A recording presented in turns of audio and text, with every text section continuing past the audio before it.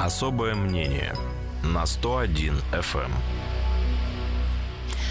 Программа «Особое мнение» в эфире. У микрофона сегодня работает Светлана Занько. Свое особое мнение высказывает э, заместитель председателя Законодательного собрания Кировской области, депутат от ЛДПР Владимир Костин. Владимир, добрый день. Добрый день.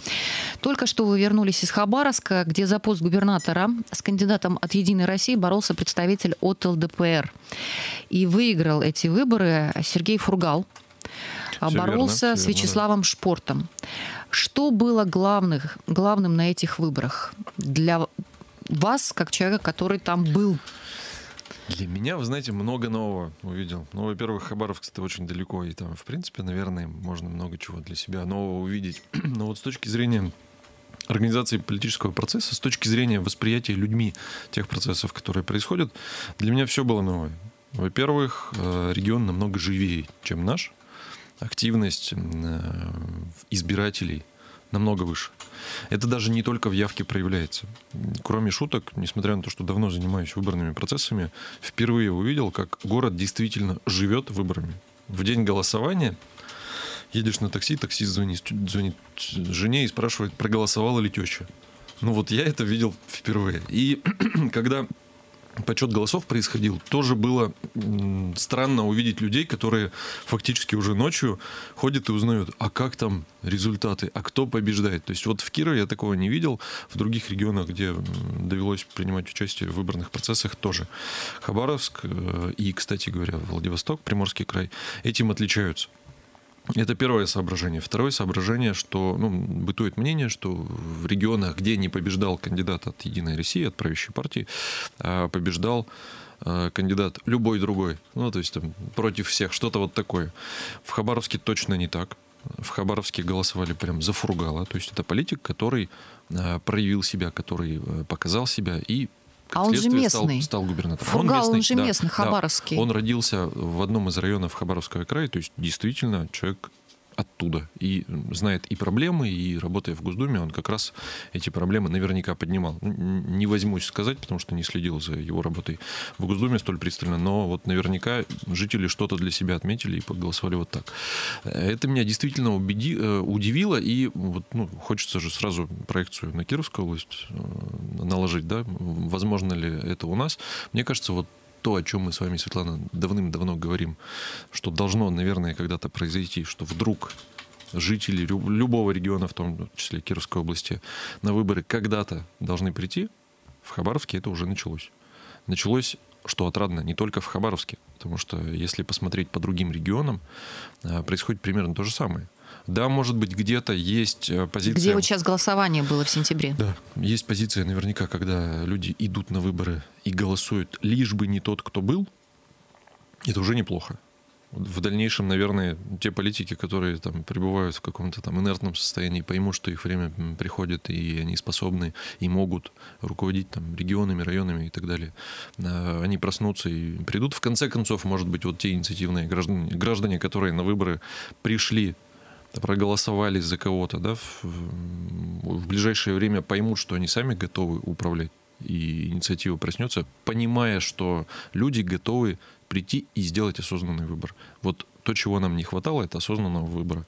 Он начинает приходить и появляться в тех регионах, по крайней мере, где выборы идут. Это очень отрадно. Давайте поговорим на тему свой-не свой. Да, я бы там а, слово «варяги» вычеркнула из нашего разговора совершенно. Однако мы видим и по ситуации в Хабаровском крае, и по ситуации во Владимире, где Синягин победил, тоже местный. Да, он представитель ЛДПР, но он тоже местный. Когда этих двух кандидатов ЛДПР выдвигали, вы оба эти фактора учитывали или нет? Это просто были фигуры, э, лидеры ЛДПР, вот которые... Вот местность или, по крайней мере, какая-то привязанность к региону традиционно учитывается при подборе кандидатов, по крайней мере, у нас. А здесь ведь, Светлана, вот когда вы говорите, там, используем, не используем слово варяг, свой-чужой, вот угу. такой критерий, угу. да, когда выбирать, а, надо глубже посмотреть, что дает свой, что чужой. Выборы без выборов вот это то, от чего устали люди, и то, против чего они голосовали. Даже если смириться с позицией, что люди не хотели тех, кто был, и голосовали за тех, кто вот является альтернативой, даже если вот, вдруг согласиться с этой позицией. Здесь как раз история про отсутствие выбора. А давайте на зломами отморозим уши. Даже, даже если согласиться вот с историей, что голосуют против, а не за. Хотя еще раз по Хабаровску там голосовали за. А, про Владимир не возьмусь э, говорить, потому что там не был. Выборы с выбором – это то, к чему сейчас избиратель привыкает. То есть мы, оказывается, можем выбирать. Для многих удивительно. И вот опять же, там, если мы говорим свой-чужой, э, неважно свой или чужой. Если я могу выбрать из во-первых, списка кандидатов, чего даже в тех регионах, где выборы проходили и где вот сейчас можно говорить о том, что смена власти произошла, по большому счету широкого спектра кандидатов не было. Ну, это и пресловутый там муниципальный фильтр и так далее, там другие вопросы зачисток. Все присутствует. Но появилось понимание, что хотя бы даже из того, что мне предлагают, из тех кандидатов, которых предлагают, я могу выбрать. Свой, ну, чужой, неважно. Когда вот вы, на мое как... мнение, неважно. Да, Владимир, когда вы сказали, что э, на зло маме отморожу уши, угу. то есть вы э, таким образом обозначаете это голосование как протестное? Если даже с этим согласиться, подчеркиваю, потому что весь интернет забит, что люди голосовали против Единой России. Вот да, я хотела как раз... не согласен, так, уже скажу, да, там, уже повторюсь, да, Фургал это политик, который который э, у себя в регионе э, ну, на минутку избрался по одномандатному округу в Государственную Думу. Э, второй пункт избрался губернатором. Не может быть вот два, два пункта голосовали. То есть голосовали, против. вы считаете, за конкретного человека? Да, там, да, там уверен. Хотя угу. там, ну, если мы опять же проецируем все на Кировскую область, это, наверное, малозначительный фактор для среднестатистического жителя Кировской области, для нас с вами. Э, но это подчеркивает тот факт, что да, наверное, э, доля правды в том, что кандидаты в первую очередь должны знать местные проблемы. Это важный фактор. Определяющий или нет, не могу судить. Ключевое для меня лично это, ну, там, во-первых, понимание проблем в регионе человеком, который приходит им руководить. А, и, безусловно, чтобы я этого человека, ну, условно говоря, понимал, да, вот, чтобы у меня действительно был осознанный выбор, когда я ставлю галочку в бюллетене. Если я голосую просто потому, что ну, кто-то прислал, кто-то поручился, сказали, что ну, а другого нет, вот это вот уже не выбор. Тогда давайте вернемся на год назад и посмотрим, как проходило голосование а, во всей России, в том числе в Кировской области. Тогда вот такой ситуации не было. Ведь совершенно спокойно, с достаточно большим отрывом в нашей области проголосовали за Васильева, которого прислали сюда, назначили практически. Он здесь был год. Он представитель Единой России. Да ведь? Он представитель Единой России. Ну, он не местный. Игорь Иванович член Единой России. Да, он не местный а, еще только входил в курс дела достаточно сложного региона после а, сложных событий, которые происходили, да, когда был посажен а, губернатор бывший, когда вычищено было абсолютно все правительство, чисто поле просто, вот чисто поле, да, и проголосовали с большим отрывом. Я не зря употребляю такую формулировку, как среднестатистический кировчанин. Я, собственно, себя к таковому отношу. И для меня была э, вот та атмосфера, та обстановка, которая есть в Хабаровске, удивительно. И еще раз, насколько живее Хабаровский край можно прочувствовать, будучи родом из Кирова, будучи среднестатистическим кировчанином. Э, не возьмусь сказать, что если бы выборы в Кировской области проходили в этом году, что-то бы кардинально поменялось но, по крайней мере, отрадно осознавать, что где-то в России люди осознанно подходят к выбору, понимают, что у них есть хоть какой-то выбор. Да? Давайте начнем сначала пользоваться теми небольшими возможностями выбора, которые у нас есть. Дальше больше. Элиты, вот кстати говоря, в, в Хабаровске зафургала не все, очевидно, потому что регион, он и богаче, чем Кировская область. И, естественно, кто-то поддержал, кто-то поддержал бывшего, кто-то, ну, там все весьма сложно было в процессе э, вот как раз подготовки к тому же второму туру. А кто-то поменял свои предпочтения уже в ходе. Но элитам иногда проще дружить с победителем. Это чувствовалось уже там на финише кампании. Итоговый результат, собственно говоря, подтвердил прогнозы. Э, поэтому разношерстно там все. Ну, последнее про Хабаровск. У ЛДПР э, теперь при новом губернаторе больше шансов э, получить места дополнительные в УЗС, в городской думе? А, ну, давайте пофантазируем. Если Фургал не сможет решить э, вопрос большинства в законодательном собрании, ему очень сложно будет работать губернатором. Это очевидно. Он всегда будет заложником законодательного собрания, установок сверху и так далее. То есть всегда придется договариваться. А и... сейчас там какая пропорция единороссы? Да, сейчас единороссы? единороссы занимают большинство, но фракция э, ЛДПР в законодательном собрании там изначально была большая, по-моему, 6 депутатов трудится. Ну, 6. Плюсом Плюсом, Светлана, мы же не говорим, что там, там ЛДПР должна быть правящей, новой правящей партией. Вот такой задачи нет. Ну, Насколько... я просто про отдельно взятый регион хотела бы понять. Я понимаю, что вот все здравомыслящие силы должны составить там коалицию и поддержать губернатора. То есть вот у них там должна возникнуть, на мой взгляд, фракция там, патриотов Хабаровского края, да, назовем ее так. Если человек является там сторонником Единой России, но помнит, что его избрали избиратели там Хабаровского края, каждый раз проецируя на Кировскую область, да, ну, пока мы говорим mm-hmm. о Хабаровском крае, а, да почему нет? Пусть он будет в любой другой партии, но преследует интересы жителей Хабаровского края. Вот если это получится, ему будет э, комфортно работать губернатора, э, губернатором, достигая результата. Если не получится, будет сложно. Владимир Костин, заместитель председателя Заксобрания Кировской области, депутат от ЛДПР. Мы продолжим еще про выборы после короткого перерыва. Особое мнение на 101 FM. Продолжается программа «Особое мнение». У микрофона работает Светлана Занько. Свое особое мнение высказывает Владимир Костин. Я должна сказать, что э, запись особого мнения вечером будет выложена на сайте хакирова.ру. У нас э, уже несколько месяцев доступна функция э, чтения программы, то есть у нас есть текстовая версия программы, и я вижу, что вы, наши слушатели, любите почитать, потому что возросла значительно, больше, чем в два раза возросло количество просмотров Э, и посещений, и глубины просмотров э, вот этих особых мнений читать любят, видимо, у нас больше.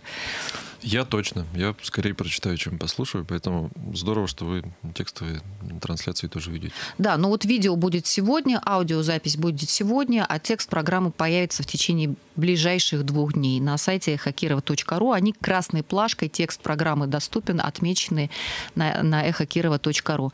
Еще раз все равно про выборы. Вот когда мы говорим про Хабаровский край, мы, безусловно, конечно, а, проецируем эту ситуацию на Кировскую область и на всю страну мы смотрим.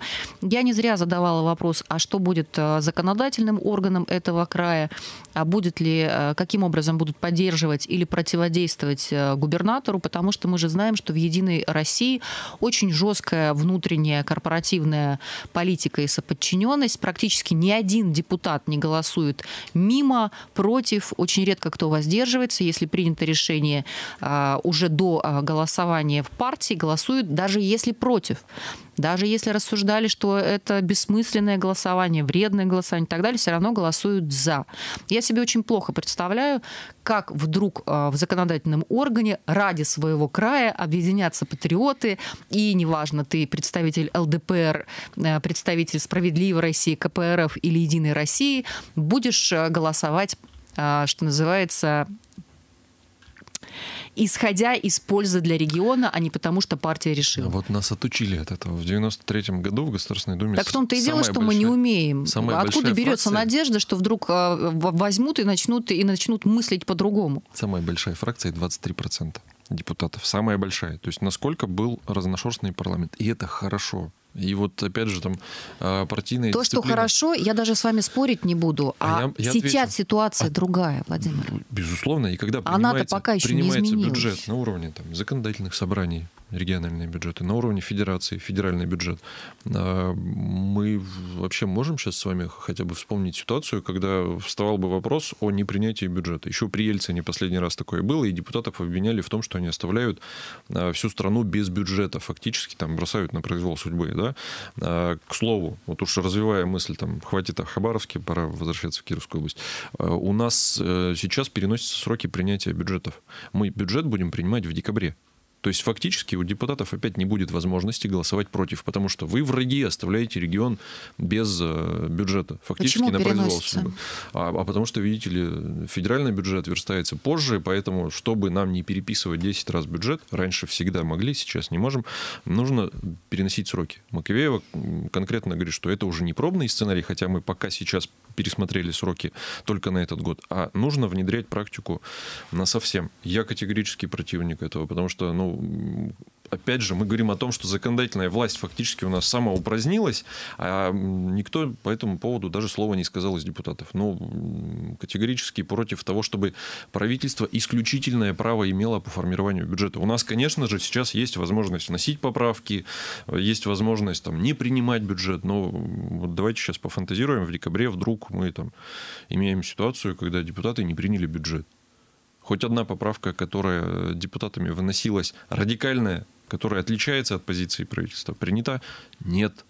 То есть законодательная власть давно не принимает участие в развитии страны, в данном случае в развитии региона. Э, ну, по вертикали пройдемся, Госдума та же самая история. Ничего не меняется. Что вы там делаете тогда, Владимир, законодательно а, сейчас вот, э, в нашем собрании, если такая ситуация? Знаете, Светлана, каждый раз задаю Не себе, жалко время зада, тратить на Задаю себе вопрос каждый раз. Вот э, я надеюсь, все-таки для меня, еще раз, там, елей на душу ситуация в Хабаровске, я надеюсь, что сейчас раз уж мы, пускай не отвыкли, а не привыкли к тому, что у нас есть выбор, к тому, что у нас депутаты должны участвовать э, в жизни э, нашего региона, нашего государства, надо к этому начинать привыкать. Если нас сейчас пока меньшинство думающих таким образом, ну, значит, мы, я надеюсь, э, не горстка идиотов, а те люди, которые просто являются там, первопроходцами. Да? Пускай следующее заксобрание с нами или без нас, но будет уже принимать бюджет, будет там отчитываться избирателям, то, о чем мы каждый раз говорим с вами. Ну вот эти сигналы, о которых вы сейчас говорите, а, выборы, которые прошли в сентябре, они обсуждаются и будут еще долго обсуждаться, потому что за ними также последовали отставки действующих действующих губернаторов, мы их наблюдаем сейчас в стране, их перенаправляют на какие-то другие там должности. По собственному желанию. С чем вы это, да, связываете? У меня вот три э, варианта Традиционные отставки по осени, как говорят некоторые эксперты, то есть Кремль всегда этим занимается, чтобы, как говорится, не засиживались на одном месте, вздрагивали и ожидали, кого куда, значит, перенаправят. А, второй вариант. Убирают старых губернаторов, тех, кто давно уже на этом месте, меняют на новых прогрессивных. А, опять же, вот то, что вы говорите, лишь бы не этот, который был, давайте нам новенького. И третий, это все-таки связано с рейтингами Единой России и президента, который неразрывно связан с этой партией поскольку они сильно упали после... Мы уже про Медведева вообще ничего не говорим. Поскольку сильно рейтинги упали после объявления о пенсионной реформе, а мы видим по всем показателям всех практически рейтинговых агентств, что это действительно так. И таким образом Кремль зачищает губернаторов, которые не справились с введением этой вот пенсионной реформы там в регионе, с ее обсуждениями и прочим. Вы больше склонны какой позиции Все придерживаться? В комплексе. Все в комплексе. Здесь э, все процессы, которые происходят, безусловно, безусловно, влияют на замену губернаторов, например. Да? А никто не ожидал ситуации, которая произошла в Приморском крае. Совсем никто не ожидал, к этому не были готовы. Поэтому план Б не сработал, его не было, в принципе. То есть вот те вбросы на 5% э, посчитанных э, бюллетеней, да, там, в которые... И люди, ночь, которые потом уже. вышли на улицу. Отмененные выборы — это, в принципе, нонсенс. Это уже первый сигнальчик к тому, что у нас есть выбор выборы, по крайней мере, отменили. По крайней мере, того, кого навязывали приморцам, он не прошел, и он не баллотируется больше. Хакасия такая же история. То есть вот э, все это сигналы к тому, что э, правила игры меняются избиратель понял, что есть право выбора. Я ну, им вы, как-нибудь Вы очень оптимистично после Хабаровска, конечно, а, настроены. Жалко, что вас там не было. Вы тоже были оптимистично настроены. Да. Да, так вот, Светлана, я еще раз говорю, это в комплексе вся история происходит. И сейчас либо э, власть, ну, Кремль, как вы сказали, да, поймет, что нужно принять реалии и все-таки смириться с тем, что избиратель кое-где, кое-когда все-таки проявляет свою гражданскую активность и избирает, либо придумать новые правила игры. У нас после 2012 года были придуманы новые правила игры, которые вроде бы как а, никак не повлияли на рейтинг Единой России. Если там мы говорим о каком-то честном, справедливом рейтинге. Напомните, как поменялись правила ну, после 2012 года. У нас, года. в конце концов, Госдума избирается с одномандатными списками сейчас, угу. да? И вдруг почему-то я неоднократно слышал этот вопрос. Почему все мы голосовали там за ЛДПР? Ну, кто-то, наверное, за КПРФ. Ну, в общем, за оппозицию. А большинство сейчас в парламенте от Единой России. Почему? Угу. Потому что как раз на флажке меняются правила игры. Вдруг вводятся одномандатные округа. Человек, естественно, не разбираясь в политической системе, а, выбирает того, у кого в его агитационном листе написано красивее, кто, может быть, там дал лишние 500 рублей и так далее по факту мы получаем Госдуму, которая почему-то голосует за повышение пенсионного возраста. То есть вы оптимистично, так вот, э, будучи настроенным, считаете, что Кремль, а, администрация президента, которая, конечно же, участвует непосредственно в назначении там, губернаторов Очевидно. и прочее, что они сейчас посмотрят э, так вот, как вы, да, ситуация в стране меняется, будем работать в этом тренде. Они придумают собственные правила для того, чтобы этот тренд э, задавить. Не исключено, что собственные правила будут придуманы, но вот если в 2012 году их получилось придумать, да, ну, путем там введения вот этих самых там а, одномандатных округов, где-то есть империале, так называемая, вообще, на мой взгляд, практика просто сумасшедшая. Ну, когда там, условно говоря, там голоса, которые э, не, не учтены, то есть испорченные против всех и так далее, распределяются э, среди партии, которая победила. Ну, просто вот, знаете, вам всех... В пользу Единой России. Ну, разумеется, да. То есть mm-hmm. вот империале вообще на мой взгляд, просто безобразие полнейшее. Но это есть. А сейчас такие штуки уже, на мой взгляд, не пройдут. Потому что вот эти все шествия с плакатами тех, кто голосовал за пенсионную реформу, а, подтверждают, что недовольство снизу, оно сейчас настолько велико, что вот эта шулерская замена правил во время игры ни к чему хорошему не приведет. В Приморье попробовали. В Хабаровске даже пробовать не стали. Если в Приморье вот этот вброс там состоялся на 5%, абсолютно вот бездарный, идиотский, ни к чему хорошему не приведший, то в Хабаровске уже побоялись. Побоялись не там Фургала, ни кого-то, хабаровчан. И более того, всего Приморья, потому, ну, всего Дальнего Востока, потому что там жители очень активные. И э, поверьте, вот то, что звучало на улицах, там, где-то там, на рынке у таксиста и так далее, это, в принципе, можно было там, трактовать как призыв Две, две минуты Это у нас, люди. Да, две минуты у нас до перерыва, а, и про рейтинги надо было все-таки э, надо нам сказать а, еще раз. И фонд общественного мнения, и Левада-центр, и даже в ЦОМ, они после объявления пенсионной реформы а, показывают снижение рейтингов Единой России президента и Медведева, и как бы президент не выходил с заявлением по пенсионной реформе, значительно это рейтинги не укрепило. У нас традиционно в стране принято, чтобы рейтинг рейтинги были очень высокие, прямо зашкаливали. Как вы считаете, что предпримет сейчас администрация президента, может быть, и сам президент, политтехнологи, для того, чтобы эти рейтинги снова взлетели? Что предпримет, я не знаю, но могу пофантазировать, да, что правильно было бы сделать. Ну, точно открутить гайку.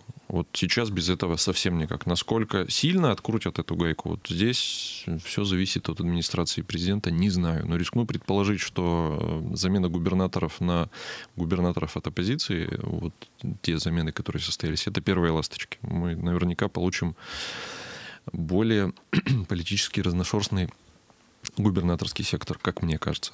Не исключаю, что в уступки пройдут и по, мне хочется в это верить, по развороту а, бюджета в сторону населения, а не только в сторону крупного бизнеса макробизнеса, который, естественно, поддержку получал, получает и будет получать. Но, наверное, это не ущерб э, большей части населения. Ну, надо страны. понять, что надо понять, что большие средства пускались на военно-промышленный комплекс, на оборону, на Сирию и так далее. Плюс теперь еще ведь у нас различные технологии вводятся и раз, обсуждаются меры для поддержки, например, как вы говорите, суперкрупного бизнеса Дерибаски, который так сильно пострадал от санкций. Ну и многих таких.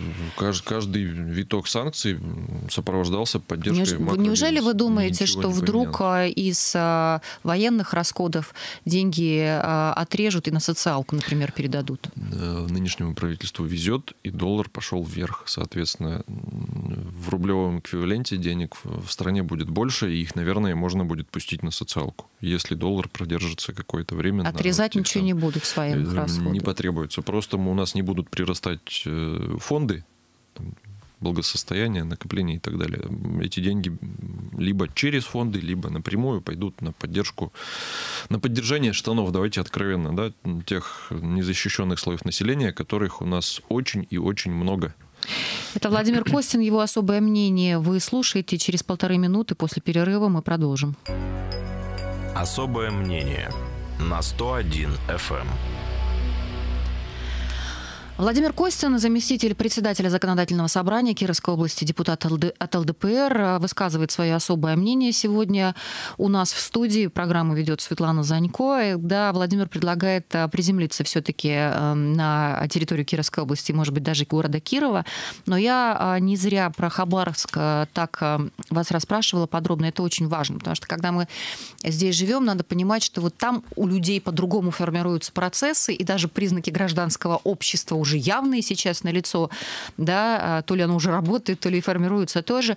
Все живем в одной стране. Это не так далеко, это не где-то за морями. Это вот здесь у нас это под у нас боком. в России. Это у нас в России, и в регионах ситуация совершенно разная. Поэтому важно, анализируя ситуацию в Кировской области, а все процессы взаимосвязаны, в том числе экономического развития, социального развития, взаимосвязаны с политической жизнью. Хочешь ты этого или не хочешь, голосуешь ты или не голосуешь, все равно. Поэтому важно себя сравнивать тоже, как там происходит, какие тренды намечаются, как это на нас скажется. Ну, а в нашем регионе много чего тоже происходит. Я Предлагаю э, сейчас сделать такой, наверное, блиц, потому что у нас остается буквально 13 минут. И есть несколько очень серьезных вопросов. Вы мне сказали, что на каждый из них готовы ответить. Э, большие споры и напряжение сейчас вызывает вопрос формирования городских округов в регионе. И параллельно с этим мы видим отставки глав поселений. Причем люди сами слагают в себя полномочия. Что вообще происходит? Кто это делает? С какими целями? Глава поселения, на мой взгляд, это вообще сейчас одна из самых расстрельных должностей. Я не буду касаться крайностей. Понятно, что есть люди, которые приходят исключительно со своим корыстным интересом работать в органы госвласти, в том числе в муниципальное образование. Мы их за скобки выводим. А, но есть примеры, когда люди действительно работают, но ввиду того, что есть 131 закон, который определяет наличие огромного количества полномочий и не определяет, откуда берется финансирование, финансирование на эти полномочия, вот быть главой в этой ситуации очень тяжело. И те люди, которые хотят что-то изменить, вот упираются в эту стену, когда вроде бы ты там тельняшку на груди порвал, а все равно ничего сделать не тебя можешь. еще посадили. А тебя это. еще и посадили, да, там пример, когда там и не один. за 10 тысяч рублей там угу. люди в колонию строгого режима, а как эти 10 тысяч рублей он взял, это отдельный разговор. И взял на ли... что? То есть угу. вот это все очень живо, да. И когда потом сход населения проходит, и они говорят, нет, вы нам его верните, мы знаем, что он не мог, за скобки мы и эту ситуацию выводим, это уже тоже там радикально. Так вот, у нас сейчас, пока 131 закон будет действовать, и пока полномочия не будут подкрепляться финансово, не хотите деньги давать в поселение, давайте их целевым образом. То есть, ну, в конце концов, там, бюджетируйте так, что деньги в поселение бы не заходили, а, условно говоря, там, казначейство района определяло все расходы. Вы когда говорите бюджетируете, вы к кому сейчас апеллируете? А, вы знаете, это даже не власть региона, потому что, очевидно, 131 федеральный закон принят Государственной Думой с подачи э, федерального правительства. И вот мы здесь только с, с мест, опять же, можем как-то вот раскачивать ситуацию и обозначать, граждане, вот у вас в Москве, может быть, денег и хватает на исполнение полномочий и на то, чтобы сверх меры еще там доплачивать людям к пенсии, сохранять, а может быть даже довводить новые льготы. У нас здесь не так. Приезжайте к нам не с экскурсией там, министра или замминистра определенной по э, там, Открытие почищенным, того почищенным там, тротуарам всего, да. или там на минуточку по построенным тротуарам, а приезжайте в тубдиспансер. Мне показали фотографии вчера из тубдиспансера. Я вам скажу, там страшно. И вот если вдруг заместителя министра здравоохранения привести туда, наверное, сильно изменится отношение к здравоохранению в Кировской области. Об этом мы много говорим и в стенах Заксобрания. Надо для начала честно сказать, у нас нехорошо. У нас во многих местах плохо, и нам поэтому нужны ваши деньги – не ваши москвичи там или федералы, как говорят, деньги, а наши, которые мы в том числе платим в виде налогов. Если мы вам не нужны, так и скажите. У нас такая горе-федерация, где вот регионы, которые, в которых по каким-то причинам, ввиду, может быть, ошибок руководства, э, нет возможности зарабатывать столько, сколько есть необходимость тратить. Ну, давайте об этом честно скажем. И тогда вот опять же перераспределим те деньги, которые у нас есть там в, нефтяных регионах, где у нас э, там э, просто сосредоточена жизнь. О Москве говорю, да? Вот. Там же есть деньги, но у нас их почему-то нет. Мы хуже, мы какие-то другие россияне. Нет. Светлана, то есть вот речь о том, что э, то, что нам предлагают, возвращаясь к вашему вопросу, оно не решит проблему. Городские округа. Конечно, не, не решит, решит проблему. То есть мы... Экономика лучше не станет. Мы решили поменять слагаемые в надежде на то, что сумма поменяется. Она не поменяется. Потому что если мы сейчас оставим поселение без представителя власти, у нас в поселениях наступит анархия. У нас уже там участковых нет. Уже реформу полиции провели. Там по большому счету сразу резко и пьянство, и преступность. И все Чья эта просто... инициатива была ввести городские а, округа в Кировской области? Очевидно, что это инициатива правительства Кировской области. Наверняка с, с подачи там, федерального правительства, то есть есть какие-то федеральные тренды. Но, повторюсь, пока мы не наделим полномочий, не добавим туда денег, у нас ничего не поменяется. И последний вопрос по, этому, по этой теме. Вот вы говорите, что надо решать на федеральном уровне. У нас есть несколько сенаторов и, и депутатов Госдумы. И что? Что они делают для мы, этого? Мы с вами э, об этом начали говорить. Угу. Сейчас законодательная ветвь власти это по, по большому счету придаток исполнительной ветви Хорошо, власти. мы вычеркиваем Госдуму. У нас есть сенатор. Недавно Тимченко к вам приезжал. Правильный вопрос На задать Вячеславу Степановичу Тимченко. А задавали? А, Вы же ответ, знаете. Ответил. Ну, да. Ну, ну вот. А зачем нам такие сенаторы тогда? А, вы спросили, повторю этот вопрос, а зачем тогда вообще заниматься вот, да, там, законодательной деятельностью? В нынешней ситуации только для того, чтобы что-то поменялось на будущее. Угу. Потому что изменить бюджет сейчас в нынешних условиях, не будучи представителем, даже не представителем, одним из представителей правящей партии, невозможно. Потому что всегда вас спросят, а вот вы хотите, допустим, детям-сиротам добавить деньги, а вы у кого их заберете? У пенсионеров – а в пояснительной записке к э, поправкам в бюджет вы не напишите, а давайте, может быть, мы пересмотрим э, отношение э, к макробизнесу. Ну, на уровне региона это в принципе невозможно, да, то есть ну, мы живем в бюджете там 46 okay. миллиардов рублей. То есть, Светлана, здесь это все сигнальчики наверх. В общем, я правильно понимаю, вот эта новая программа по городским округам, вы считаете, она не принесет никакой пользы, а может быть даже вред нанесет? Я, я уверен, что она вот в нынешней редакции как минимум нас застопорит, а это уже вред.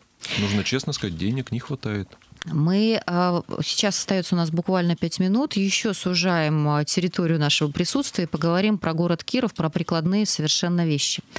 Первое, а, то, что дорожный контракт, который, я так понимаю, до 19 октября должен быть разыгран, снова затачивается, как говорят здесь активисты, под крупные лоты и крупных подрядчиков. Хорошо или плохо? Плохо однозначно.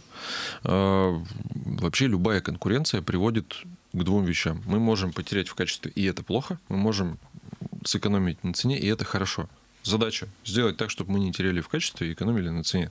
Ну, соответственно, жесткий подход к отбору подрядчиков правильно не с точки зрения выбора своего, а с точки зрения выбора э, того, кто может сделать качественно. Правильно прописанное техническое задание предопределить, что мы наверняка получим широкий спектр заявок и люди будут биться за э, получение этого контракта, потому что, извините, господряд это всегда выгодно, потому что вам точно заплатят, и он наверняка написан э, специалистами, которые заложили в том числе э, ну, должные нормативы по прибыли. Желтые заборы, которые ставят сейчас на улицах города Кирова из профиля спаяны, вот на Октябрьском проспекте особенно много профилей. Хорошо это или плохо? Да вы знаете, желтые заборы появились давно. Вот Они нас... уже 10 лет устанавливаются. Вот об этом и речь. Хорошо Почему? это или плохо? А, когда первые появились желтые заборы, они появлялись действительно там, где нужно. Оцениваю это как хорошо. Если мы предположим, что вдоль Октябрьского проспекта те чугунные заборы там, или решетки, которые есть, мы поменяем на эти желтые, это, безусловно, плохо. Но это вот опять же там можно говорить, что это там субъективное мнение, но вы спросили мое особое субъективное мнение. Я считаю, что желтые э, решетки из профиля взамен чугунных, старых, красивых, это плохо. Желтые решетки там, где их не было совсем, и они способствуют безопасности, это хорошо. Ну и последний вопрос, он э, глобальный, но требует все-таки сейчас сжатого ответа. Э, последняя пресс-конференция, где был министр ЖКХ, министр экологии и природопользования, поставила несколько вопросов. Спрашивали журналисты о мусоропереработке и мусоросортировки в области, которая не запланирована, эти схемы не предусмотрена. И позиция правительства была следующей, а, что Алла Викторовна Албегова объясняла, почему в области не будет мусоропереработки. Она говорила, с одной стороны, в государстве нет механизмов стимулирования этой составляющей. Не знаю, что она имела в виду. А с другой, те инвесторы, что обращаются со своими деньгами, видимо, и готовы строить мусороперерабатывающие заводы. Их проекты не конкретные, не живые, нет бизнес-планов, технологий, есть прожекты. Как вы к этому относитесь? Ну, тут вводная небольшая. Тот полигон в Осинцах, который там уже много копий сломалось, кто-то за, кто-то против, он ведь в том числе там, предполагал и мусоросортировку, да, не переработку, сортировку. Вопрос, при сортировке появляется какой-то полезный материал. Да? Он, он как-то снижает стоимость э, услуги по сбору и вывозу мусора? Нет. Более того, на эту сортировку заложена инвестиционная составляющая в тарифе. То есть мы с вами платим за то, чтобы у нас забрали, и еще и полезное там что-то себе определили. И мы еще и вот эту сортировочную линию с вами оплатим, и еще и никто не хочет. У нас в государстве что-то не так работает, Светлана. Вот это все комментарии по этому поводу. И дай бог, чтобы жители региона поискали тех, кто готов что-то поменять. И не говорить все время, у нас нет денег. Давайте что-то, может быть, там в механизме перенастроим, чтобы не предполагалось, что у нас люди платят, а инвестор еще и приходить не, не готов. Да готовы приходить, но говорят, что они какие-то неконкретные, с неконкретными говорит, планами и прожектами. Они настолько неконкретные, что значит конкретные не готовы, и у нас мусоропереработки не будет. Я рискну предположить, что в ближайшее время нормальной сортировки даже не будет. Но вот это все то, над чем... Знаете, что меня в этом удивило? Что об этом говорит министр экологии и природопользования, а не министр экономики или тот, кто связан с бизнесом и прочее. Посмотрите Почему на, доклад... на, на, на, на плечи министра экологии это все? Вот Посмотрите это? на докладчиков. Вот в Заксобрание порой приходят представители правительства. У меня раньше был вопрос, почему пришел вот этот человек, а не, не собственно говоря, тот, кто отвечает за то или иное направление, мне кажется, просто посылают по больным вопросам тех, кого не жалко. А сейчас это происходит все чаще и чаще. То есть больных вопросов у нас много. Та же пресловутая мусорная реформа, во-первых, писалась черти как, и там за пределами МКАДа она практически не работает. Во-вторых, с реализацией проблемы. У нас есть три министерства, которые за это отвечают, и абсолютно никак не коммуницируют между собой. Лебедь, рак и щука, вот на выходе мы получим то, что... Мусорные получим. свалки мы сейчас Мусорные уже свалки задорого, я вам да. так скажу. Тариф мы с вами все равно будем оплачивать. Владимир Костин, заместитель э, Заксоб... председателя Заксобрания Кировской области, депутат от ЛДПР, был сегодня в особом мнении. Э, всех благодарю, всем хорошего дня. На микрофона работала Светлана Занько. Особое мнение на 101 FM.